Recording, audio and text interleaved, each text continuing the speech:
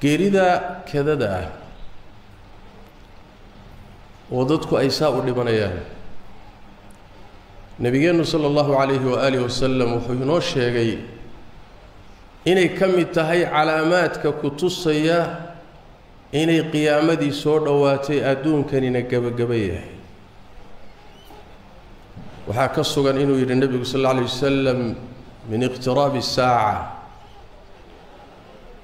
qiyaamada soo dhowaanshaheeda waxaa ka mida an yadhara mowtu lfaj'a inuu faafo oo muuqdo geerida kadadii. Addoommadu markay ilaahay caasiyaan oy ku kufriyaan oy ilxaad ku kacaan oo dhulka ilaahay dunuubta ku badiyaan oy daacadiisa ka haajiraan oy kibraan oo wax ismoodaan ayuu ilaahay tabaaraka wa tacaala dharbaaxaya wax ciqaabaya. Saas daraaddeed baa nebigeenna waxaa ka sugan sal alla alay wasalam inuu yidhi mowtu lfaj'a akhdatu asaf. Geerida kadadiihi waa qabasho ka timid ilaahay cadhadiisa dabcan fujaarta dadka xunxun iyo gaalada in badanoo mu'miniinta ka midana shahaado iyo dembi dhaaf iyo naxariis bay u noqonaysaa oo musiibadu markay timaaddo sababay ku timaadaba ilaahay tabaaraka wa tacaala addoommadiisa mid xun iyo mid fiicanba way wada gaadhaa. Sida ilaahay qur'aanka inoogu sheegay tabaaraka wa tacaala. Nebiguna axaadiistiisa inoogu sheegay salawaatu rabbi wasalaamu calayh marka cadho ilaahay oo laga cadhaysiiyey oo dunuub la galay qabasho ka timid weeyaan buu nebigu yuhi sal alla alay wasalam iyo cuquubo ka timid geerida kadadiihi. Yaa sidaa yidhi nebi moxamed salawaatu rabbi wasalaamu calayh alladii laa yantiqu cani ilhawa in huwa ilaa waxyu yuuxaa waa wuxuusan faylu suuf ka warrami karin. Waa wuxuusan aqoon-yahan ka warrami karin waa waxayna khubaradu waxba ka sheegi karaynin. Xanuunka daahirkiisiiyo waxaan yimid bay waa la dhimanayaa asbaabta loo dhimanayay wax ka sheegi karaan. Laakiin xagga rabbi waxa ka yimid cilladiisa iyo xikmaddiisa waxba kama yaqaanaan. Waxyi kitaab alleh iyo nebi moxamed sal alla alay slam iyo rususha hadalkooda oo ilaahay ka warramo tabaaraka wa tacaala iyo xikamkiisa unbaa wax ka sheegi karaya marka waa akhdatu asaf ama akhdatu asif? Maxaa loo baahan yahay marka? Sidaasoo kale markii ay xaaladdu u jirto oo dadku dhimanayaan oo la geeriyoonayo si jamaaciya loo socdo waxaa loo baahan yahay in aynu talagalkeeda yeelanno. Waxaa loo baahan yahay inaan diyaar garowno waxaa loo baahan yahay inaynu ku talagalno ka qabriga maanta la geeyey eed soo aastay ka ku xiga miyaad noqon doontaa mise? Lama yaqaano xaggee iyo sidee iyo sababtee iyo goorma waa hawl ilaahay khaas leeyahay laakiin waxaan hubnaa oo xaqiiqo biyo kama dhibcaan ah ama daah ama aad ha daahdo ama ha soo degdegtee inaad geeriyoon aad adduunkan dhaafayso xaqiiqo la hubo waaye. Kullu nafsin daa'iqat lmowt maxaa kula gudboon marka marka lagu xusuusiyo lagu tusoo saaxiibkaa tegayoo kii kula fadhiya tegayoo yacni waxa weeye dadkaagii tageenoo intaa taqaanay la soo sheegoo adduunkii socdo.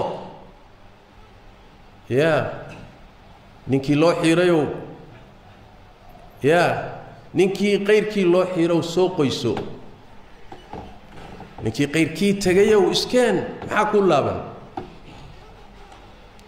Walaa tamuutunna ilaa wa antum muslimuun. U diyaar garooba geerida.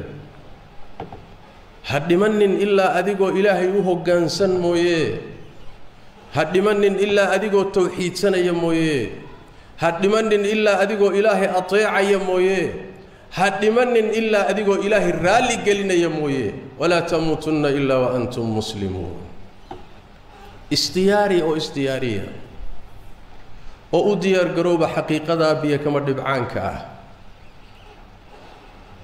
Waxaa ka mid ah waxyaalaha laynoo jideeyey ee marxaladan oo kale loo baahaya inaan ku dadaallo khaatumo wanaagsan inaan ku dhimanno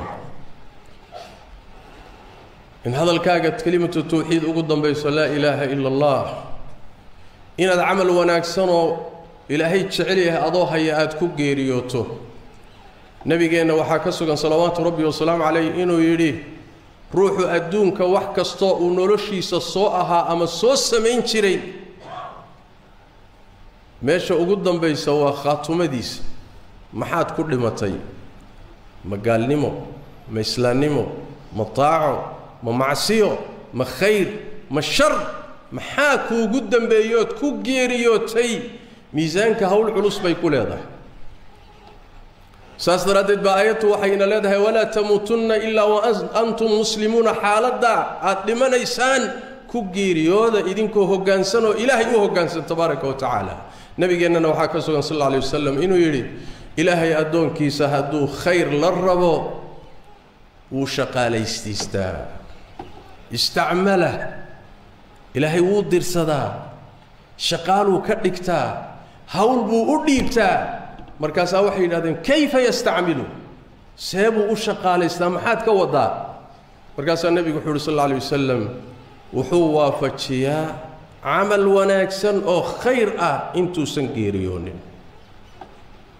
Marka lagu soo dhow yaho xaaladiisu soo dhowaato wakhtigiisu dhammaad yahay ayuu ilaahay tabaaraka wa tacaala hanuuniyaa khayrkaa loo diraa salaaduu badiyaa soonkuu badiyaa sadaqaduu badiyaa khayrka amridiisa iyo reebidda xumaantuu badiyaa wuu towbad keenaa wuu soo noqdaa qur'aankuu ku ku hanuunaayoo qaabilaa asagoo wanaaggaa iyo khayrkaa ku dul sugan ayay tiisii u timaadaa allah baa khayr la damcay.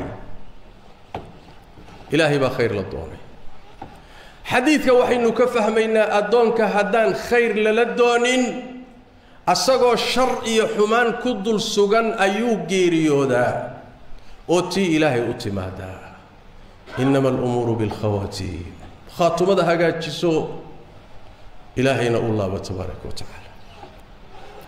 Xaaladdan oo kale waxyaalaha loo baahanya waxaa ka mid ah oo muhimka ah in aada loo badiyo istikfaarta iyo towbadda lianna towbadda iyo dembi dhaaf weydiisiga ilaahay oo la badiyo balaayo soo socotana way ka hor tagtaa balaayo addoommada markaa haysatana way qaadaa waan istakfiruu rabbakum uma tuubuu ilayhi yumatickum mataacan xasana ilaa ajalin musammaa ilaa ajalin musammaa yumatickum mataacan xasanan intaad wakhtigaaga ka gaadhayso nolol wanaagsan buu ilaahay ku noolaynayaa haddaad badiso istikfaarta iyo towbadda wamaa kaana allahu liyucadibahum wahum yastakfiruun waa gaaladii. Ilaahay ma cadaabayo inta ay dembi dhaaf weydiisanayaan. Saas daraaddeed badiya astaqfiru allah wa atuubu ilayhi. Astaqfiru llah wa atuubu ilayhi. Astaqfiru llah wa atuubu ilayhi. Badi carabkaaga ha ku badato waxaa kaleeto muhiim ah maadaama aada aragtay in laysgalay hawshu dhinacyahaaga ka dhacayso saaxiibbadaa lala tegay qaraabadii la qaatay intaa taqaanay inaadan aqooninba ay socdeen. Adigana waad ku xigtaaye dardaaran. Dardaaranka taqor nebigeenna waxaa ka sugan sal alla alay wasalam inuu yidhi ruux muslim ah oo wax la dardaarmo haya wuxuu inuu dardaarmo rabo haya. Laba habeen ay marayaan xaqiisu ma aha garna ma aha inay sidaa ku maraan wax la dardaarmana agtiisa ay yaallaan haddana uusan dardaarmin garna ma aha xaqna ma aha. Wax la dardaarmo ayaa agtiisa yaalla. Inuu dardaarmuu doonayaa laakiin ma dardaarmin. Habeenaa maray toddobaad yaa maray bilaa maray sannadaa maray dardaaran ma leh. Gaar ahaan waxa la doonaya inaad ka dardaaranta hadday tahay xuquuq bini aadam daymaa lagugu leeyahay. Dulmi baad gashay. Madaalim.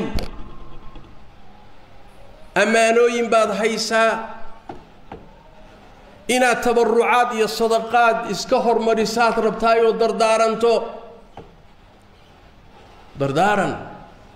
Qor laba habeen markay soo martaba ku noqo dib u fiiri.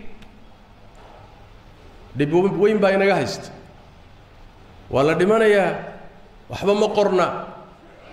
Ruuxan xuquuqdiisii ma qorna. Tii lagu lahaa ma qorna. Daymihii ma qorna. Madaalimtii iyo dulmiguu galay ma qorna. Soo qabriga laguguma sugayo marka. Sidaadii lagaaga soo laguu geliyo godka laguu geliyo ayaa waxaad dayacday qoorta kuu sudhan tahay waana laguu haystaa. Sidaas daraaddeed dardaaranka iska qora. Markhaati u sameeya. Saaxiibbadiin u dhiibaa meel aamina dhiga. Reerahaaga u dhiib. Wahaakadaa si aad u nabad gasho. Nebigeennu markuu sidaa leeyahay salawaatu rabbi wasalaamu calayh xaaladda uu ka warramayo ummaddiisa uga digayo waad garanaysaa sidaas daraaddeed dardaaranka qora. Dardaaranka qora. Qaata xadiidka nebiga sala allahu calayhi waaalih wasalam qaar baa ilaahay hanti siiyey tabaaraka wa tacaala oo xoolo badan haysta. Intuu noolaa inuu xoolihiisa sadaqaysta waxaa u diiday bakhaylnimo. Geeridiisa kadib inuu sadaqaystoo dardaarmana waxaa u diiday shaydaan iyo naf baa gafiyey hantiduu ka tegay waa taajir ee sidaadii uu qabriga u galay carruurtiisii iyo xaasaskiisii baa isku qabsaday. Koob shaaha inay uga sadaqeeyaanna waa diideen. War yaa iska le dayacaas soo adigu melihi intaad noolaydna waxaa kuu diiday bakhaylnimada iyo lexjeclo kugu jirta. Haddaad dardaarmi lahayd oo geeridaada kadib wax baxsan lahaydna waad ka gaabisay oo maadan qorin in xoolihii dembigoodu adiga ku saarnaayeen laysku laayo oo koob shaaha lagaaga soo sadaqayn waayo waad istaahishaa marka. War isdaba qabta. War isdaba qabta. War dardaaranka qora. War dardaaranka ka taga. War xuquuqda iska ilaaliya. War duyuunta qora. War bini aadamka madaalimta aad ku samaysay hadday tahay wax gadaashaa lagaa bixin karo. Qor! Si aada u badbaado akhiiran xaaladahan aan ku sugannahay walaalayaal. Waxay mudan tahay inay aada inoo gasho cabsida geeridu yidi diiladiiyo adduunye jacaylkana aan soo gaabinno. Wayba gaabatayba. Inay gaaban tahayna waabaad aragtaa. Maxaa waa lagu qaban? Ma berri baa lagu qaban? Ma saadan baa lagu qaban? Soo gaabi. Qorshayaasha dheer soo gaabi. Adduunyadan kula tagtay soo gaabi kursigan aad u dagaalamayso soo gaabi xoolahan aad daba ordayso soo gaabi aafadan ku haysata soo gaabi meel kula gaadhi mayse sokadeedaa lagu qaban doonaaye. Soo gaabiyoo geeridu inay ka sokayso mar walba qalbigaaga ha ku jirto. Adoo meel fog laacaya baa meel ka sokaysa lagaa qaban doonaa. Yaa hasha qadowga laacaysa. Qadowga sokadiisay qow ku dhacdaa adoo meel fog laacaya labaatan sano soddon sano qorshahoodaad dejisay. Ilan geeridiina waaba saa dambaba. Bini aadamku waa wada sida. Nebigeennuna wuxuu inoo sheegay salawaatu rabbi wasalaamu calayh. In yididiiladaa dheer iyo adduunye jacaylku bini aadamka inay la abtirsato oo ninka da'da ah ee sariirta ku urursaday ama haweenayda da'deed sariirta ku urursatay ee wax walba ka gaboobay wax walba waa ka jilcay wax walba waa ka quustay laakiin laba shay nebigu wuxuu yidhi qalbigiisu dhallinyaruu ku yahay. Waa adduunye jacaylka ee yididiilada dheer. Waad sii noolaan doontaa maalmaa kuu laaban sannadaa kuu laaban. Waxaa nebigeennu sawir ku bixiyey yaa oo uu xariiq ku bixiyey. Bini aadamka yidhi diiladiisii oo meel foog sii socota iyo asbaabtii keenaysa geerida oo dhinacyaha ka haysa iyo geeridiioo ka sokaysa yidhi diiladaa dheer ee meel fog uu sii laacayo. Nebigu wuxuu ku bixiyey xariiq oo ummadda u sharxay salawaatu rabbi wasalaamu calayh wa haadihi alxaqiiqa. Sidaas daraaddeed walaalayaal xaaladda aan siday tahay ula mucaamaloonno ilaahayna aan u toobadkeenno ducadiiyo baryada aan badinno nebigeennu salawaatu rabbi wasalaamu calayh ilaahay waxyaaluhu ka magangeli jira waxaa ka mida in ciqaabtiisu si kadaa ugu timaado oo ducooyinkiisii waxaa ka mid a kamaa fii saxiixi muslim allahuma innii acuudu bika min zawaali nicmatik. Ilaah waxaan magan kaaga ahay nicmadaadu inay ii dhaafto iga zuusho